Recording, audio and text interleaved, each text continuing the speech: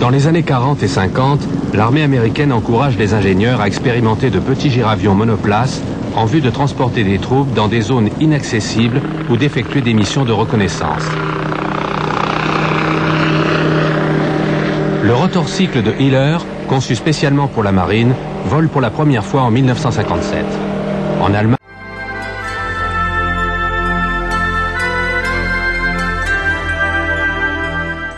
en 3 minutes sans outils, tous les assemblages étant faits par Clavette, pour devenir l'un des hélicoptères individuels les plus étonnants. Construit aux USA, l'appareil est présenté pour la première fois à Paris, sur le terrain d'ici les Moulineaux.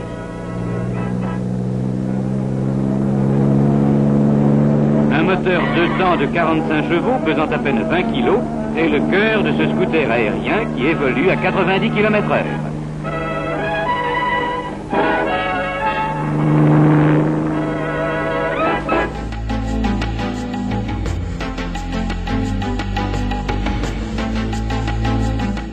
Tel est le nom de cet hélicoptère monoplace qui nous vient d'Amérique.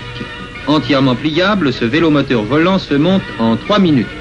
Il peut enlever une charge de plus de 100 kg. Son plafond maximum est de 4000 mètres. Sa vitesse de croisière est de 80 km. Le scooter du ciel en quelque sorte.